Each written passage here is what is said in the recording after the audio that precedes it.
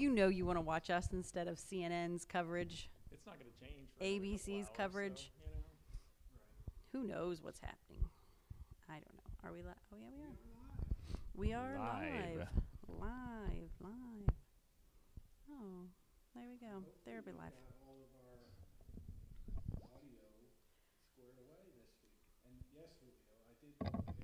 It's plugged in. We're gonna try to go for one week in a Yes. row with no audio problems. We're gonna put a sign up that shows how many days. number of. Oh, we've got two people joining us. Let Well, us least- know if you can hear us. At least we only need uh, single digit. We don't have to put double digits up on that board. yeah, we really only need like one through probably what two. Probably. Uh, yeah, we probably should definitely have a zero up there. Betsy's watching with us. We've got a couple more people logging on. Hello, hello. See, our live feed's going to be more popular than than others. I don't know. They they haven't answered that yet. Let us know. Let us know. Can you hear us? Our mouths are moving. Can you hear us? No, we're not going to play any ACDC. He he's learning how to use the Bluetooth. He's he's learned so much this week. You'll notice our um, Christmas Eve survey. So we have, right now, we have a survey out there for Christmas Eve. Mhm. That's on the webpage. It is homepage. Um, I think it will be sometime. If it hasn't been already, it will be. Um, and we also have a form out there for you to order your poinsettias for Christmas Eve. That's not out there yet, but it will be. It will be. I don't. Uh, will be in next week's weekly Wednesday for sure. It'll be on the website probably by the end of today. Um, it'll be in the bulletin. Um, no, it won't be in the bulletin. The bulletin's already done. It'll be out there. It'll be out there. We cannot hear Phil. All right, so let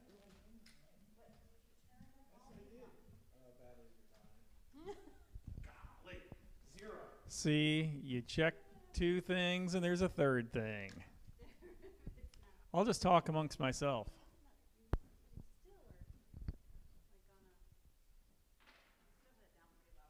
anyway, banter amongst yourselves. Yeah, I was like, um, not singing. I was trying to think what I could do. Monologue. Monologue.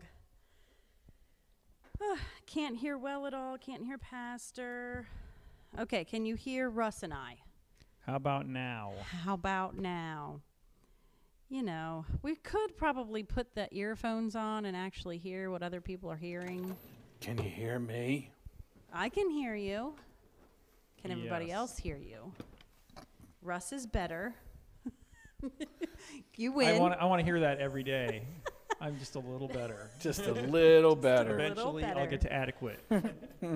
Hopefully you can hear me now, but when I checked it before, my light was going up and okay. So I was okay. All right, so we're but I getting can a hear it yes. now. We can hear Belinda and Russ well. Can you hear Pastor now? Because Can you hear me now? he'll do his announcement again about the survey because yeah, they probably didn't hear so that. so it was pretty.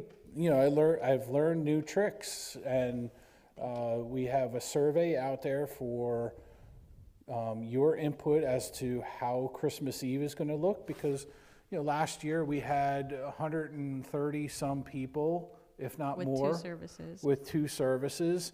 Um, so that obviously goes a little bit above and beyond what we could handle um, with the current restrictions. So we're trying to see who's going to come to worship, who's going to continue to worship virtually, so that we can kind of plan. And then also the other thing that is on there is when do you prefer to come? So we have seven, eight, and nine thirty on the list, and right now seven is is predominantly what people are looking for. So So if we are, i- if if we get a um, a safe number of people responding that want to ap- to attend in person, then we'll just have that one service, correct. and we will live stream that service, so you can Correct. still worship with us at the same time or later in the day, whatever fits with your Yep. um, schedule. And, and we may, you know, also do something, we're still kind of chatting about maybe posting something at midnight. Just maybe a Yeah. hymn and a verse or something, Something. just so that people can We can celebrate experience. Christmas. Right. And then there's, there's a cert, there's a, a form that will be coming out for you to order um, your poinsettias, either red or white. So look for that to come out as well. And I think that's, That's most of our announcements. I announcements. think so. Yeah. Cool. And I hear the bells ringing. For whom the bell tolls. It tolls For for thee. the, It tolls for thee. So what are we chatting about today, sir? I feel like it's gonna be angry Jesus week. There, there is some angry Jesus Angry going on, and Jesus. you know, every now and again we do need a little bit of angry Jesus. But you you find a lot more of angry Jesus in the Gospel of Mark, because there there is a lot of angry Jesus there, and you know that's okay. Um, I think some of that is for us to really kind of take stock in what it is that we're doing, and you know, are we really are we really doing what Christ has asked us to do in our lives? Are we? Well, let's back up. What are, what are we what are we looking at today? So we're looking at the final discourse, which is what I was talking about, Right? uh, which is typically found in Matthew 23, 24, and 25, and it's commonly referred to as the Olivet Discourse. Mm-hmm. And why is that? Because most of the time, Jesus is talking to the disciples or the people or the Pharisees from Mount Olivet while he has a view of the temple. Okay. Um, in the other Gospels, in, in this discourse, it's sometimes taken from inside the temple, but in Matthew, it's, it's where he's up on Mount Olivet and speaking to the masses. Well, I'll have to admit that um, the Facebook advertisement that went out for this only included the readings for I know, you 23 and excluded 25. me. I totally skipped 24. So, um, Well, see, I had to do a lot more work today because I had focused on 24. So, so I had to do some work on 23 and 25. that's okay. I totally skipped reading 24 myself. So, Um, I so don't- did I. but you know, I got some So, notes on the other two, you so know, we'll we- work it out. maybe we'll, you know, extend that into next week some too. Who knows? I think Anyway. we Well- can handle it. So, in, in, in Woes. as, as, uh, whoa. Woes. So, if, if we look at Matthew, tw- if we start out in Matthew 23, Matthew 23 is really where um, Jesus is calling out the Pharisees and the scribes, where he's, you know, saying, yes, you're teaching the right things. You know, you, you are giving the people what they are supposed to hear, but you're not living that life. So you, you're, you, you've put yourself on a pedestal above everyone else, and you know you're not really giving the people what it is. I'm, you're not. You're not. You're not What's the setting the good example. There you go. That's kind of. You're not walking the walk. You're just talking That's the right. talk. I mean, there's there's one. Um, There's some great lines in this one too. There are some great lines in here. Well, expound Probably on them. One of my favorites. You strain a gnat, but swallow a camel. Strain a gnat, but swallow a camel. Hmm. You're going to pick on something small for someone else and pick that out in their lives and, you know, swallow a whole camel when That's- it's yeah. something that's referring to yourself. Interesting. Yeah, yeah. So, I mean, one of the one of the things that Jesus points out in in the 23rd chapter is the phylacteries. Ah, That's a big word for today. Yeah, okay, I know what it is. could I have the um, country of origin? Spell it. Spell it. So th- those were are typically back in that day they were they were small pouches that the faithful either wore on their forearm or, on their forehead that kept um, the commandments, so that you always had a reminder of that.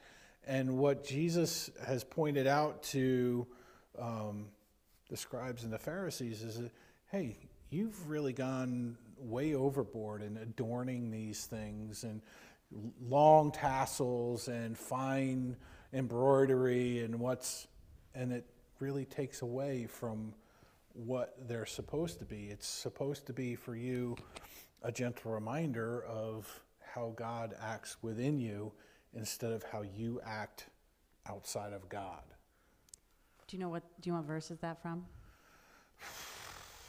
That, that, that's told you, I, that's been a part of my, um, continual, uh, Bible study or devotion in the morning, was the, the, the verses that told them from Deuteronomy to, to where it, Oh, I did not know that. Well, thank you. it's Deuteronomy six, four through nine, just y'all wanna look that up? Tells them to wear, you know, the, uh, on their forearms and their foreheads and write it on their door frames. Right, right. I, I can't tell you it. I haven't memorized it. I look at it and read it every morning, but I don't. You don't remember. I don't have it memorized. Okay. It's the Hebrew. Sh- I'm probably saying that wrong. Shema, Shema. I don't know. It's Shema. the like the morning prayer. Right, right.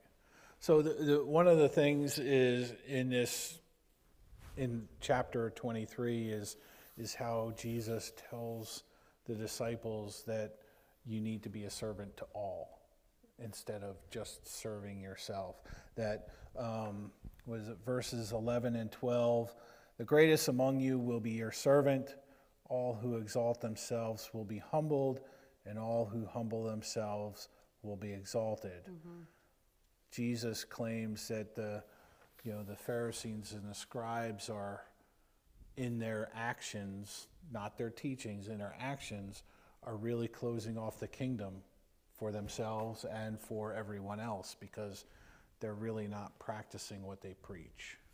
Right, and this whole verse, it's almost if you're in a leadership position, you should start by reading this because there's so many things that apply to that.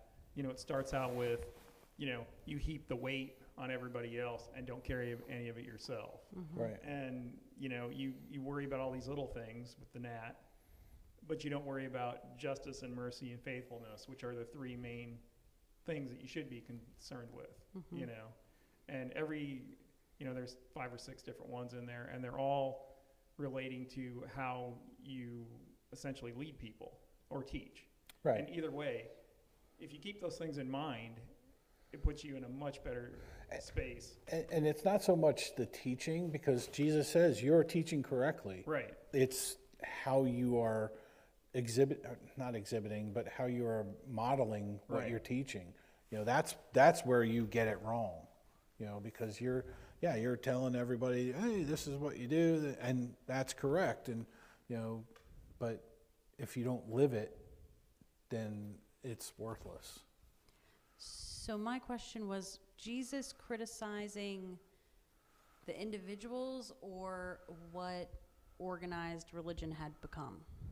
He he's criticizing the, the the ones who are pontificating themselves, you know, who hmm. are lifting themselves up above everyone else. So, you know, it would be like me saying I'm better than you or you because look at me, I can teach you this or, you know, look how I'm living and you're not living correctly.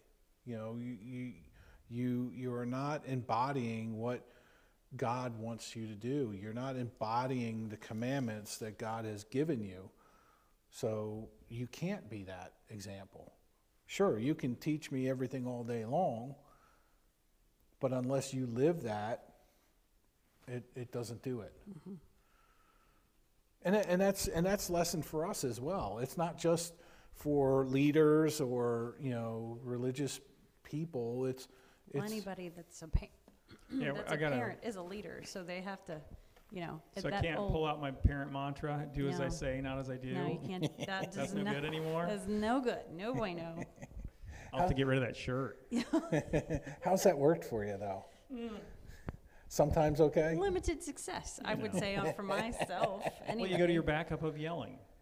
Well, I, I That do solves all that, yeah, problems. yep, yep, yep. So that's really what uh, Matthew 23 is all about. It's all about being the servant and being the faithful servant who embodies, who lives and preaches and does what he preaches. I like it. Good. Then my job is done. See ya. 23. Now 24 that none of us looked at except for Pastor Phil. So, you know, in, in chapter 24, it really, there's a lot of talk about the end of age and judgment. You know, it talks really about, starts out with, because it, it, it's basically written after the, the temple and after Jerusalem have been destroyed. And it's, it's the end of time stuff, and it's, it's really um, saying Jesus is coming in there and saying, yes, this, this is what's going on, and, and, it, and it has the um, different topics of, you know, the Son of Man coming, you know, the, what, what was the correct term? Um, uh, oh, phooey. I forget the term.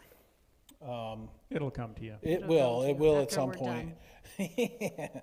Um, But it's, it's also talking about, you know, how um, we're, we're to live, and, you know, kind of,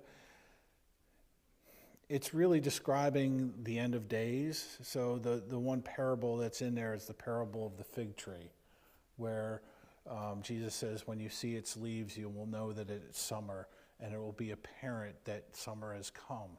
So that's kind of a, you know, there, there'll be earthquakes, there'll be pestilence, there'll be wars, there'll be discourse among nations, you know, hmm. a whole lot of So what are we saying here? so what- I think we're looking at what's going on today. but that, But doesn't every generation think that It theirs is. is the Absolutely. You know, one that's and- ending? and that's really what one of the things was here was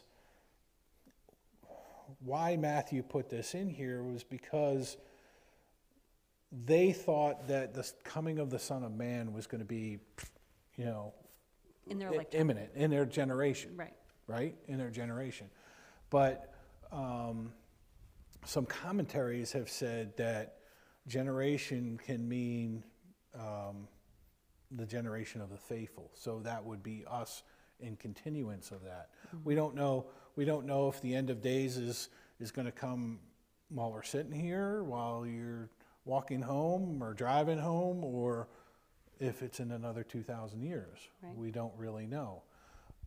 And that's But- one of those things where you don't really need to worry about it. You just need to do what you're supposed to do, and then that'll sort itself out. Which kind of leads into chapter 25. Exactly. which I like a lot better. Yeah, let's just.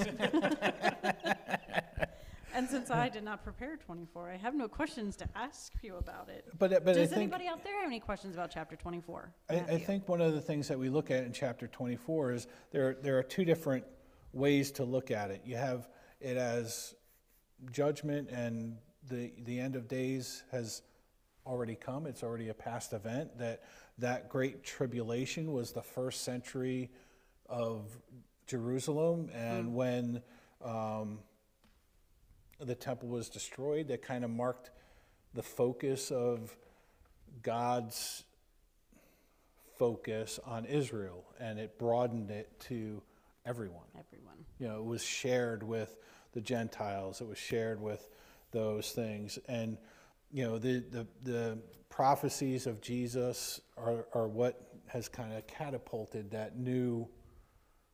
I don't want to say ministry, but that new life in Christ ahead. So that that kind of signified that. Um, but there's also people that believe that it's possible that it's a future event. It's stuff that we're seeing now may be leading to that. Um, and it's really um, where that part of it was the focus, where, where God focused on Israel to kind of perpetuate them into the, into the new era. And that new era is where um, we're going to be following, you know, Christ's word, where we where we are are taken in the world, and it's not God's God's judgment on Israel. It's it's preparation for the re- return of the Messiah.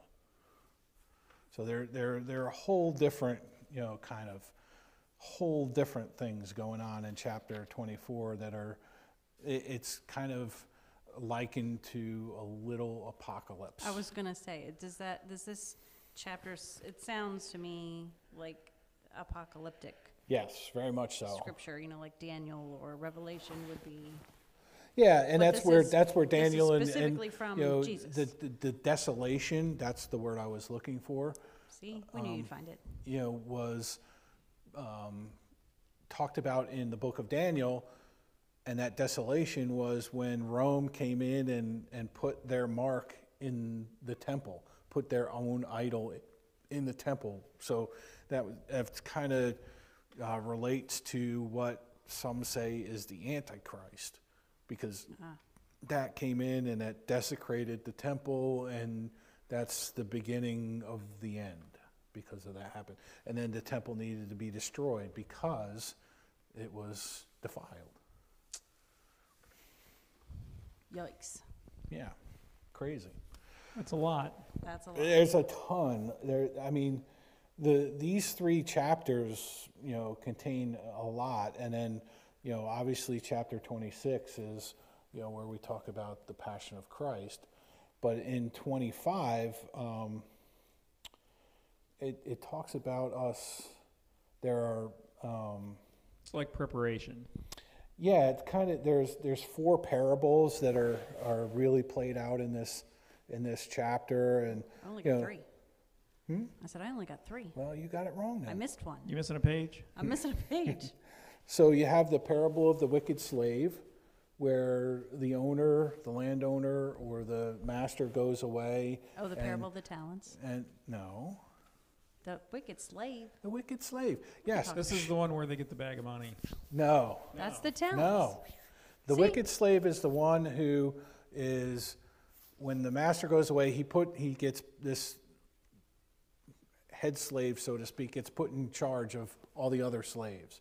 Okay. And since the master or the Lord has kind of disappeared and hasn't been around for a while, he starts, you know, being the, you know, playboy of the era and spending his money, drinking, drinking and eating all the food for the other slaves, beating the other slaves, and then all of a sudden the master shows up unannounced and he's kind of caught in a pickle and Don't know where that is. Is But I it guess it doesn't go well. it doesn't go well. doesn't go There's well. much weeping and gnashing of teeth. gnashing of teeth? Yes, There's and always darkness. the weeping and the gnashing of teeth. So, so the next parable in there is the parable of the bridesmaids. You know, the or you know, some say virgins, some say whatever, but you'll have to tune in on Sunday to hear about that.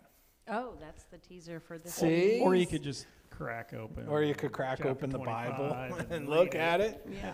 But you know, it's again, it's all about being prepared for the coming of the honored guest. You know, and and and that's what we're called to do. We're called to just you know be vigilant and awake, and not sleeping. Not to step on your sermon or anything, because I didn't know that that was the gospel for this eh. week. But my problem with this one is that half of the, you know, half of the the virgins or bridesmaids were prepared, and the other half weren't. And Well, they were it was both like, prepared, too but bad, so they're sad. You didn't have enough of your Well- oil. You gotta go get yourself some. Right. Well, my whole, I got sort of a positive take on that. a little Okay, bit. good. Well, not really positive for them. Oh. But if you have something like a gift, okay, you have a, a gift that you have in doing something, don't waste it.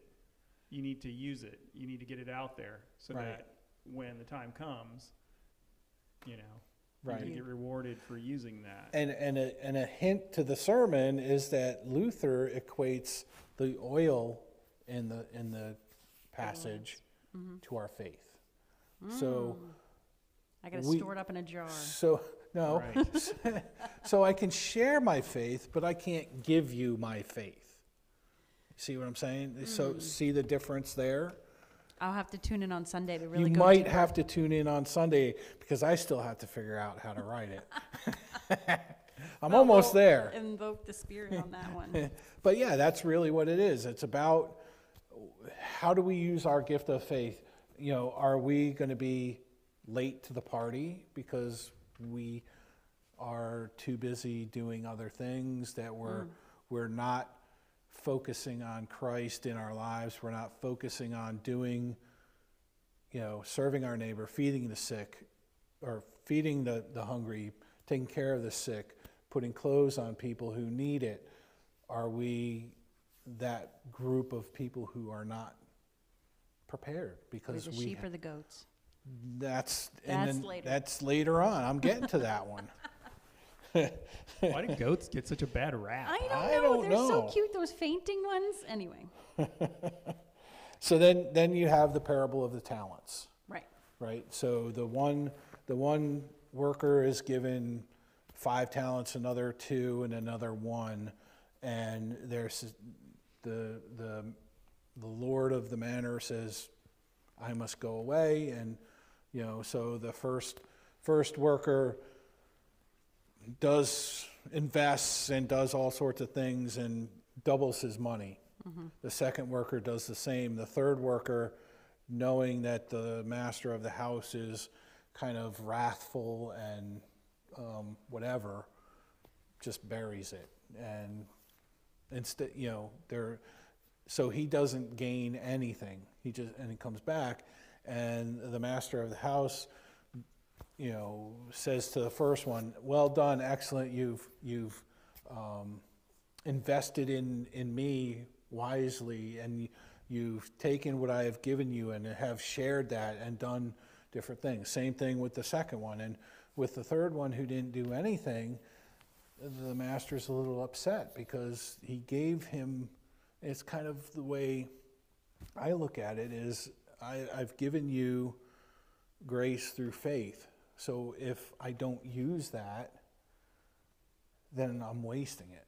And, and, and I'm not, I'm not doing what, you know, God wants us to do in the world. I'm not sharing that with, even if I were to, you know, put it in the bank, you know, there's still something that I could do with it. You know, I would still earn, so to speak. All right. So the talents is faith. if That's what you're saying. I, I think all of this is faith. It's, it's really, It's you a know, one-trick faith, pony. faith, you know, faith and salvation really you know it's it's it's god's saving grace coming to us through our faith and and how it is that we use our faith in the world how you know eh, and, and, I, and i've struggled with this a little bit with the the 10 bridesmaids because you know you look and you're like oh yeah well i can share my faith and i can i can do things that are you know pleasing to god with what i have with my oil um, but I can't give it to you.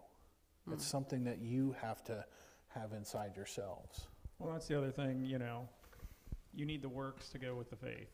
So a lot of this is don't go hide and, you know, and be scared to, to go out and do something. You know what I mean? You don't have to do anything big, but you need to get out and, you know, put it on account. Do a little bit. And, and that's what, and you know, w- w- you're killing my sermon for this week. So I think, We're enhancing it. This is sermon enhancement. sermon enhancement. Exactly. So, so I, I think that's exactly what we're being called to look at. You know, as members of this church body, are you just coming into church, being fed, and leaving? That's okay. That's you showing up with your lamp. That's, that's you being there, okay? with your one talent. or Or with your your one ta- with, with your with your talents right but are you a member of council are you on a, you know a ministry team are you involved with the youth are you involved when we have projects in the church um, are you involved more than just coming And, yeah, and it could even be a prayer chain. It could be something Mm-hmm. simple like that. If you Absolutely. can't physically do it, it, It- it, it- could it- really be just about anything. it's not as long a- as you're involved somehow. It, it, and it's not a heavy lift. It's how are you comfortable, right? And are you comfortable with, um, well, I know technology, so I could maybe do this, or I know finance and I could maybe do that, or I know how to put in a bathroom. That's those, and those are grand projects. Those are big things, but cleaning up the church after worship, um, you know, just Just reading and participating in a Bible study and then talking about it later. Right. I think is also sharing that again, sharing your faith with whoever will listen. You know, I- you know, I talked a couple of weeks ago, and and it hasn't you know, borne fruit yet, but maybe it will, was, you know, someone talking to a, a family outside. If you share the good news, that's your, jo- that's what we're supposed to do. That's what we're supposed to do. And that, and that kind of gets me along the lines. When you're watching virtually, uh, either these discussions or you're watching virtually on church, share. Share it with your friends, you know, so that it gets out there. And it's as simple as that. You, you push a button and it goes.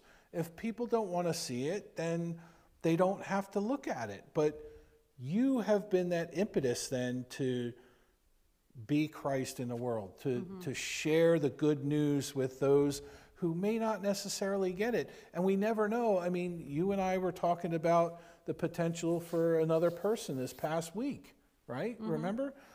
It's all about just saying, hey, this is what I have to offer. I'm sharing my faith with you. Are you coming with your lamp? Are you going to come with extra oil? Are you investing your talents?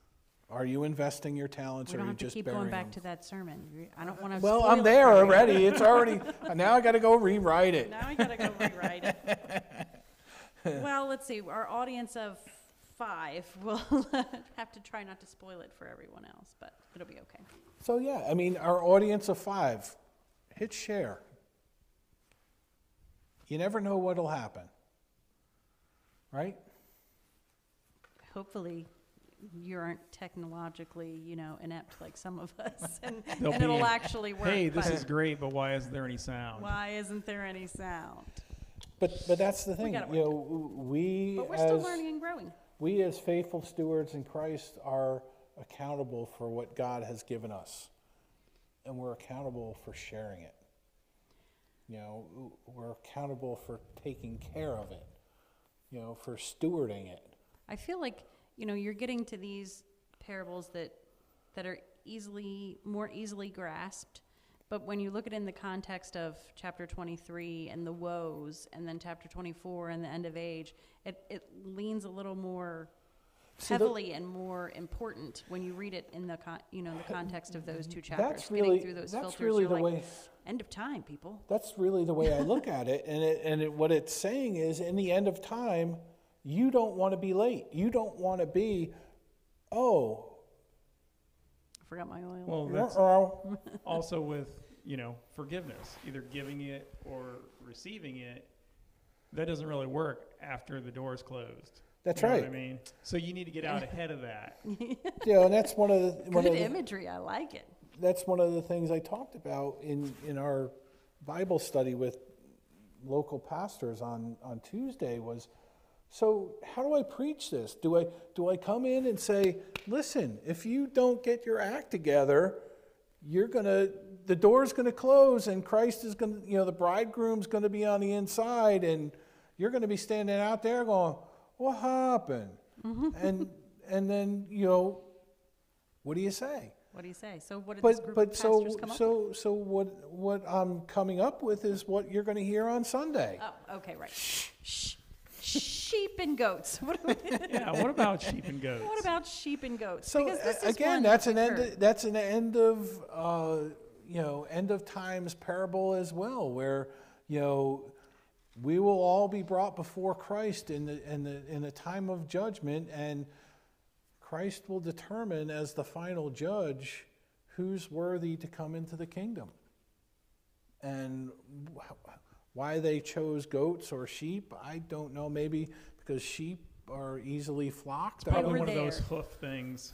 You know, you probably got to dig into some Leviticus or something and figure out why probably. goats are on the. I mean, I'm pretty sure I I remember some class in seminary that we talked about that, but uh, probably my parables class.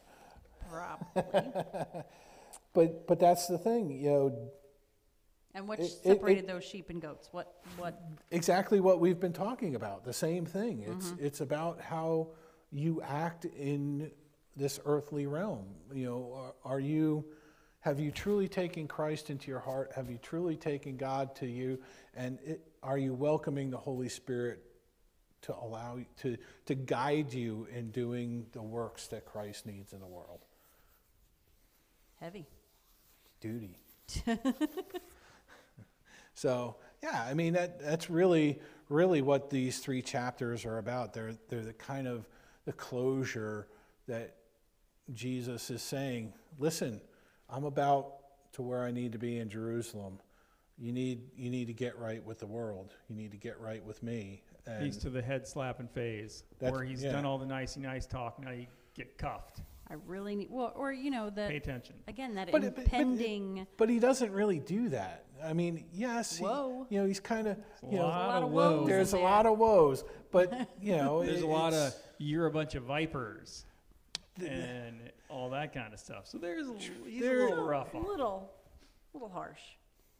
But you know, I, I, I don't know. I, I think, I think it's truly easy for us to do what these, you know, these parables are asking us to do. It, it's not a heavy lift. Agreed. Yeah. Check. Check. So, so what, what, okay, so we're, we, we talked about practically what we can do. We're, we're, We're we're at at thirty time, minutes, yeah. yeah. So do we want to talk about practicality of how we can put these discourses? How about we do that next week? Or what are we doing next week?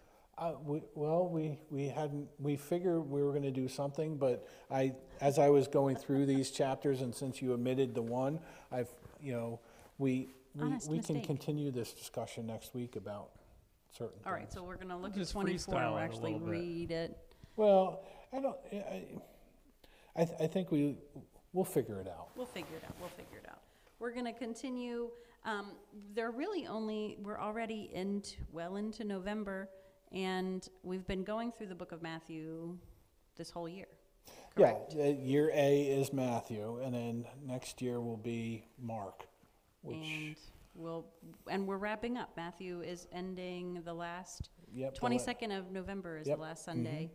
and Um, Mark will be very short to the point. Yeah, Mark it is- is, it it is very short and to the point, yeah, so. but we'll delve into that when the time comes. So just a couple more weeks of Matthew, and we'll finish out Yep. year A's, right? And hopefully, for those of you who turned in, this has so far been worthwhile, and we really appreciate your input. And um, if you have suggestions for us, please let us know. And worst case, I think we're enjoying it. Yeah, I think we're having fun. We're together. learning stuff. I Yeah. mean, I- again, I'm still, I, even one of the devotions I did this morning is, you know, had, uh, it had me, had helped me think out a, a different perspective on things. Right. You know, just feeding yourself with the word is like my big, huge thing of And, 2020. and, and that's really what, for me, you know, kind of looking at the different commentaries for the lectionaries Mm-hmm, helps me see different perspectives and yeah, you know, how does it fit into my life and how do I, how does the Holy Spirit come to me and allow me to share that with you? yeah, And you can, and it reminds you to look at things, you know, stop and look. Because I noticed a couple times this week, I heard myself and I was like, hmm, I might be a little myopic on that one. I may need to step back. And I was a little off. So, you Yeah. know, Yeah. Well, you know, you got to put it through the Jesus filter, and if you're not holding up that Jesus filter to see what that filter is, sometimes you can wander a little bit off the path. Right. And sometimes, you know, it may not be bad for you to wander off the path, just to realize that I need to get back on the path. Yeah, right. Yes. it depends which direction. Well, and I mean, if you can do that, you know, you, you know, uh, everybody's offering you grace, and you offer yourself grace to say, "Hey, I, I messed up. I'm wrong there." Yeah, I said the prayer twice. Yeah. Did anybody even notice that? It's been five days. Get over it. No, but thank you for joining us and hope to see you Sunday. See you.